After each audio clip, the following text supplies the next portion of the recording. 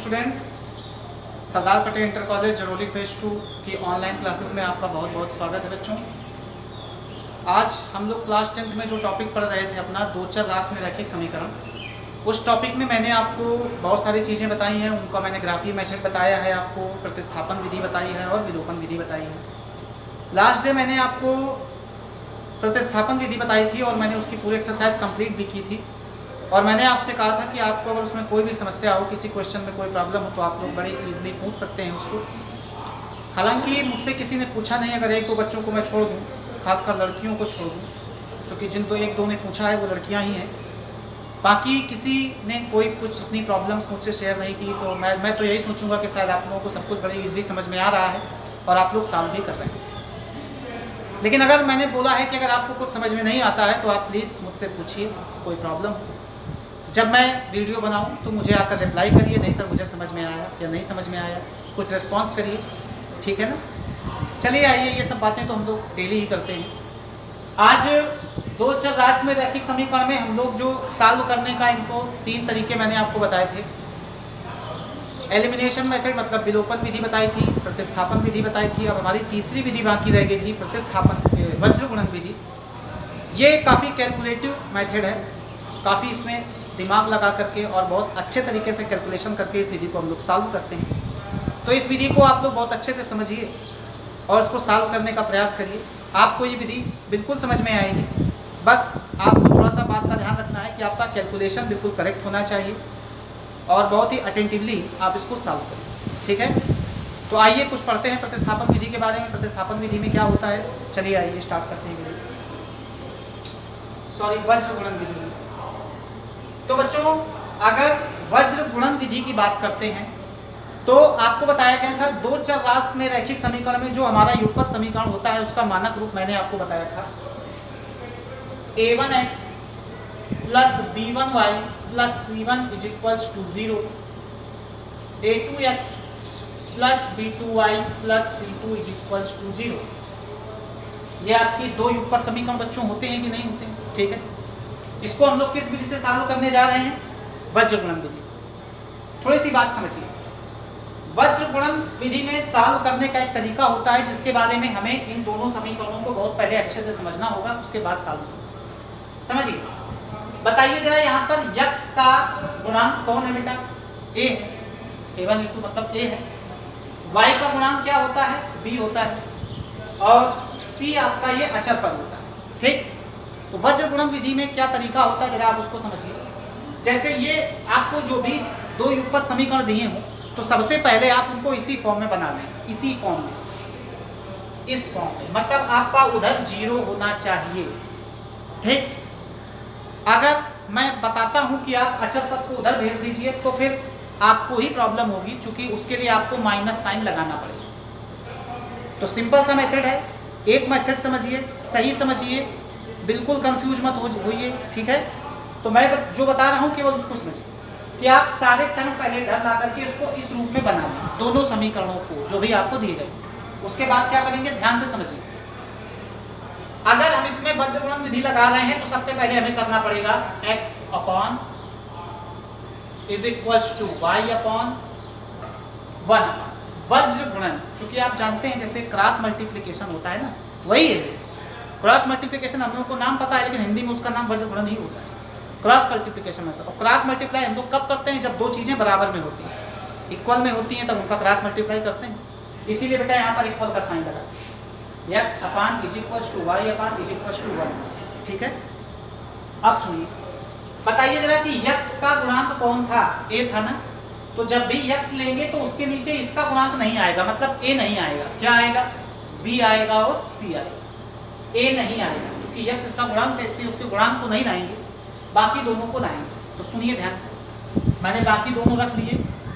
B one B two C one C two इतना सबको समझ में आए ए को नहीं रखा, चूँकि उसका गुणांक है। बी और सी को रखा। इधर आइए। ये वाई है वाई का गुणांक कौन है? बी है। तो इसमें बी को नहीं रखेंगे। किसको किसको रखेंगे? सी को रखेंगे और ए को रखेंगे। तो सी को रखिए। C one C two A one A, सबको बात समझ में आ गई। आगे आइए अचर पद वन है। तो अचर पद मतलब यहाँ सी है। तो सी को नहीं रखना, बाकी दोनों को रखना है। यानी A one A two B one B बताइए बच्चों, सभी को बात समझ में आ गई कि नहीं? है ठीक। एक बात का ध्यान रखिए। इसमें चक्रीय क्रम का ध्यान रखिएगा। जैसे ए के बाद बी आता है, फिर बी के बाद सी आता है, फिर सी के बाद फिर ए आएगा, फिर बी आएगा, फिर सी आएगा। सब अल्टरनेट एक के बाद एक मतलब आना है क्रमानुसार। तो यहाँ पर देखिए मैंने ए वन ए टू जब हटाया था तो बी और सी को रखा था कि नहीं रखा? फिर मैंने बी को हटाया था। फिर उसमें हम लोग सी और ए रख सकते थे। तो ऐसा नहीं कि आप पहले ए रख देना, पहले आप सी रखिए, क्योंकि इसके बाद सी आता है ना, क्रम C. One C two A one A two फिर आप जब यहाँ आए थे तो सी वन सी टू हटा था। तो सी वन सी टू हटा था तो बचे ए और बी तो आपको ए और बी ही रखने हैं बी और ए नहीं रखना। जो पता चले आप इसको इधर रखते हैं इसको इधर रखते हैं वरना आपका सवाल रॉन्ग हो जाएगा। चक्रीय क्रम का ध्यान रखिए। जिससे खत्म होता है, उसी से अगले में शुरू होता है। ऐसे ध्यान रखिए। सी वन सी टू से खत्म सी वन सी टू से start A one A two से खत्म ए वन ए टू से स्टार्ट इसको माइंड रखिएगा तो ये बेटा बताइए आपको इतनी बात समझ में आ गई। अब उसके बाद हम लोग क्रॉस मल्टीप्लाई कर रहे थे तो आप पहले से ही चूज़ कर लीजिए कि आप किस दिशा में पहले मल्टीप्लाई करें। किस दिशा में? आप पहले ऐसे ऐसे कराना चाहते हैं। कि आप पहले ऐसे ऐसे कराना चाहते आपको ही चूज़ करना है। तो जैसे मैं पहले ऐसे कराना चाहता हूँ, ऐसे। ठीक? मैं पहले ऐसे कराना चाहता हूँ तो ऐसे ही मुझे सब में कराना पड़ेगा। सब में। सब में आप ऐसे ही एरो लगा दीजिए। ऐसे। ऐसे। बताइए बात समझ में आ रही? मतलब सबसे पहले आप इसी का मल्टीप्लाई करेंगे तो देखिए बताइए क्या बनेगा? X upon B one C two बीच में काय का साइन लगेगा, जब इसका इसका मल्टीप्लाई हो जाएगा माइनस का sign. B two C one is equals to Y upon C one A two minus C two A one is equals to one upon A one B two minus A two बताइए बच्चों, बात समझ में आ गई कि नहीं? ये साइन लगाने का मतलब ये था कि हम सबसे पहले इधर से मल्टीप्लाई कराएँगे माइनस करके दूसरे को बात के लिखेंगे। तो बेटा बस ये हो ऐसे आप कर देंगे तो अभी तो ये सवाल था, मानक रूप में था, लेकिन जब आपका सवाल होगा तो आपको यहाँ पर ए बी और सी की कुछ ना कुछ वैल्यू दी होगी। तो बस उनको आप घटा दीजिएगा। घटाने के बाद में एक बार इसको और इसको ले लीजिएगा तो यक्स का मान निकल आए। एक बार इसको और इसको ले लेंगे तो वाई का मान निकल आएगा समझ में बात आ रही है? इसके साथ ही क्यों लेंगे? चूँकि ये अचल पद है, इसमें और कोई वेरिएबल नहीं है। इसलिए इसको इसको लेकर के, इसको क्रॉस मल्टीप्लाई करा करके एक्स का मान निकाल लीजिए। इसको इसको लेकर के क्रॉस मल्टीप्लाई करा करके वाई का मान निकाल लीजिए। ये आपका बच्चों मेथड है, वज्र गुणन विधि अब मैं आपको इसका एक सवाल बताता हूँ, उस सवाल को आप देखिए। देखिएगा, मैं इसी मेथड से बिल्कुल इसी तरीके से ही सॉल्व करूँगा। चलिए आइए बच्चों, आपकी ही किताब का मैं एक सवाल बता रहा हूँ। कोई भी सवाल उठा लेता हूँ। वज्र गुणन विधि का कोई भी क्वेश्चन मैं उठा लेता हूँ। उससे कोई प्रॉब्लम नहीं बेटा। चलिए, जरा मैं एक क्वेश्चन ले रहा हूँ। उसको आप ध्यान से देखिए। क्वेश्चन है आपका। मेथड समझिए कैसे मैं सॉल्व करता हूँ। जितनी चीज़ें बताई हैं उतना आप ध्यान रखेंगे। क्वेश्चन है बेटा आपका, इधर देखिए। ये है question five X plus seven Y minus thirty one is equals to zero seven X minus nine Y plus thirteen is equals to zero ये बेटा दो युगपल समीकरण जिनको हम लोग को बेटा किस विधि से सॉल्व करना है? वज्र गुणन विधि से सॉल्व करना चलिए आइए स्टार्ट करते हैं। दोनों पहले से ही मानक रूप में रखे हुए हैं, कोई परेशानी वाली बात भी नहीं।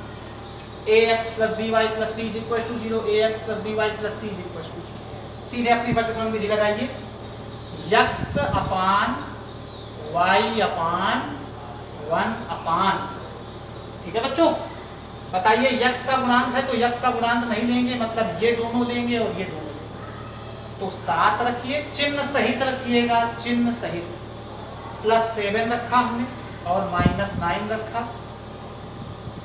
माइनस थर्टी वन रखा और थर्टीन रखा। चिन्ह ध्यान में रखिए, चिन्ह गलत नहीं होना चाहिए, वरना क्वेश्चन ही गलत हो जाएगा। Y का गुणांक ये है तो ये नहीं लेंगे, पहले ये तो minus thirty one, thirteen, five और सेवन। सबको समझ में आ रहा है बच्चों? अचर पद में आइए। ये दोनों नहीं लेंगे, पहले ये फिर ए और बी तो फाइव और सेवन लिया। यहाँ से सेवन और माइनस नाइन देखिए बात आपको समझ में आ गई, जिससे खत्म हो रहा है, उसी से शुरू हो रहा है। सबको समझ में आ गया? अब आप एक चिन्ह लगा दीजिए कि आप पहले मल्टीप्लाई कहाँ से करें तो मैं पहले मल्टीप्लाई यहाँ से कर रहा हूँ। कैलकुलेशन सही होना चाहिए आपका। अगर कैलकुलेशन मिस्टेक हुआ तो फिर आपका क्वेश्चन गलत हो जाएगा। तो बेटा यक्स अपान देखिए जरा। तेरह सत्ते इक्यानवे होता है। माइनस लगाया, माइनस माइनस प्लस तेरह नवैया एक सौ सत्रह, ऐसे रख दिया। बात समझ में आ गई? Is equals to Y upon तेरह सत्ते इक्यानवे, माइनस इक्यानवे हो गया। माइनस लगाया, तेरह पचे पैंसठ हो गया। Is equals to one upon पान नवा पैंतालीस हो गया, माइनस का साइन लगाया, सात सते उनचास हो गया। बात बच्चों समझ में आ गई होगी? एक्स अपान, इसको इसमें माइनस कर दीजिए। 117 में इक्यानवे घटा दीजिए। तो नौ आपका इधर बचा और सत्रह उधर से हो गया। तो छब्बीस हो गया। तो यानी बेटा ये बचा माइनस का ट्वेंटी सिक्स। वाई इनको जोड़ दीजिए। पाँच और एक छः हो गया, नौ छः पंद्रह हो गया। माइनस का एक सौ छप्पन। बात समझ में आ गई?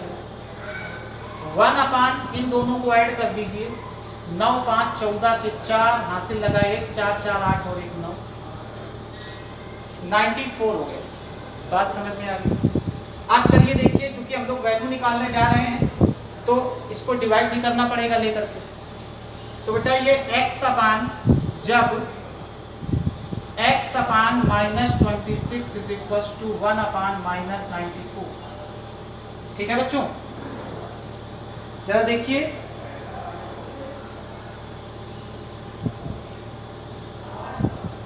ये थोड़ी सी बेटा मिस्टेक है। ये मैंने इसको 117 कर दिया है, जबकि ये 31 तो इसको आप सही कर लीजिएगा, यहाँ पर मैं सही कर देता हूँ एक बार। वही मुझे लगा। नाइन वन जा नाइन नाइन थ्री जा ट्वेंटी सेवन बेटा टू सेवेंटी नाइन ठीक है ना? और यहाँ पर भी देखिए गलती हुई है। तेरह पच्चे पैंसठ, ये हुआ, ये सात एकम सात। सात तिरका इक्कीस मल्टीप्लाई करा दीजिएगा, सही से। मैंने सोचा वो थर्टीन है। 217 आएगा आएगा बच्चों, मैं इसको इरेज कर देता हूँ। ये स्टेप फिर से देख लेते हैं एक बार। चूँकि वही मुझे लगा शायद कैलकुलेशन कहीं गलत है। तो फिर से देख लीजिए एक बार, तेरह, सत्तर, इक्यानवे, माइनस नौ, एकम नौ नौ तिरका सत्ताईस, ये दो सौ उन्यासी हो गया।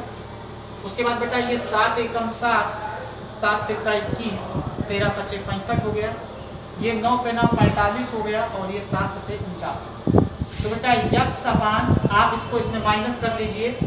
279 में आप 91 को माइनस करेंगे तो आपका 188 बेटा बच जाएगा, वो भी माइनस का। Is equals to Y upon, ये दोनों ऐड हो जाएँगे तो 217 में आप पैंसठ को जोड़ लेंगे तो दो सौ बयासी हो जाएगा बेटा। और इधर आप इन दोनों को जोड़ लेंगे तो 94 हो जाएगा। तो देखो बेटा, बात आपको समझ में आ गई। अब इजीली हमने क्या कहा था? एक बार इसको इसको ले लेना। जब X upon minus one eight eight is equals to one upon minus ninety four बेटा इसको आप इधर भेजिए पहले। तो बेटा x इज़ इक्वल्स टू ये ऊपर जाएगा। माइनस एक सौ अट्ठासी upon minus ninety four divide कर देंगे। तो देखिए बेटा यहाँ से यक्स की वैल्यू आपकी क्या आ गई? दो। आ गई बच्चों? और एक बार जब आप इसको इसको बराबर दिखाएँगे y अपान माइनस दो सौ बयासी is equals to one upon minus ninety four आप इसको इधर भेजिए। तो माइनस दो सौ बयासी बटे माइनस चौरानवे। इसको आप कट कर दीजिएगा। तो ये आपका थ्री टाइम पे पूरा पूरा कैंसिल हो जाएगा। तो y की वैल्यू थ्री ये देखिए। तो बच्चों क्वेश्चन आपको समझ में आ गया होगा। देखिए, छोटी सी बात थी।